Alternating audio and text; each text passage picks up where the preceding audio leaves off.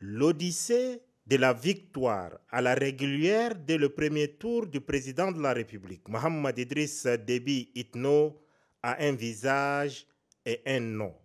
C'est la coalition pour un Tchad uni.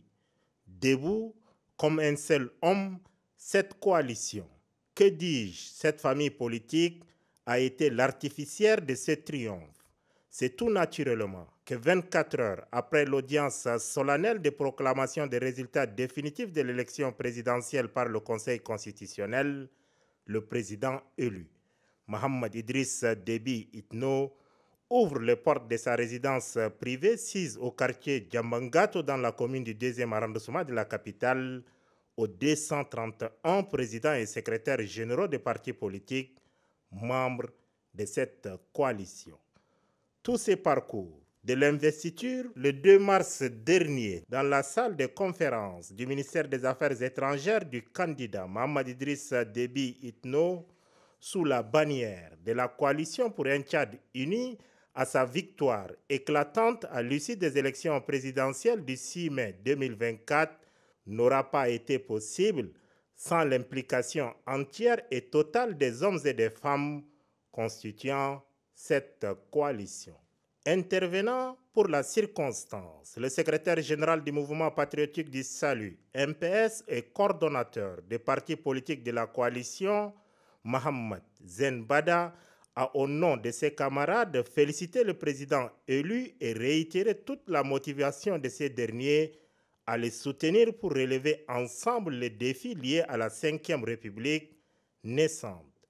Vous êtes la fierté du MPS et de 229 partis politiques membres de la coalition pour un Tchad uni. En un mot, vous êtes la fierté du Tchad. Nous rendons gloire à Dieu de nous avoir permis de faire le bon choix et au bon moment le choix de la raison, le choix de la sagesse, le choix de l'excellence, le choix de l'expérience, le choix simplement de l'homme qu'il faut à la place qu'il faut. Le MPS et tous les partis politiques de la coalition s'engagent résolument à continuer à soutenir votre mandat et accompagner vos actions à la suite du coordonnateur des partis politiques de la coalition pour un Tchad uni, le président de l'UNDR, l'ancien Premier ministre Saleh Kebzabo, s'est exprimé en ces termes. Il faut qu'on accepte absolument qu'il y a des Tchadiens qui ont voté pour vous et d'autres qui n'ont pas voté pour vous. Qu'il y a des partis politiques qui, nombreux 229 et peut-être d'autres, ont appelé à voter pour vous et d'autres ont appelé à voter contre vous. Demain, dans la gouvernance du pays, vous devez en tenir compte sans complexe. Ceux qui ont voté contre vous sont des opposants.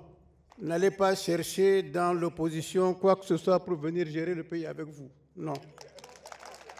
On se tient à vos côtés pour réaliser la quasi-totalité, sinon la totalité de vos engagements pris devant ce peuple exigeant qui attend beaucoup de vous, dira pour sa part Dr Mohamed Ahmed Allabo du Parti pour les libertés et le développement, PLD.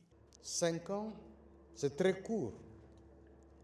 Parce que nous devons faire en sorte qu'il n'y ait pas un sans deux. Et donc, si vous avez été élu une fois, on devait faire tout pour que vous soyez réélu conformément à la Constitution une deuxième fois.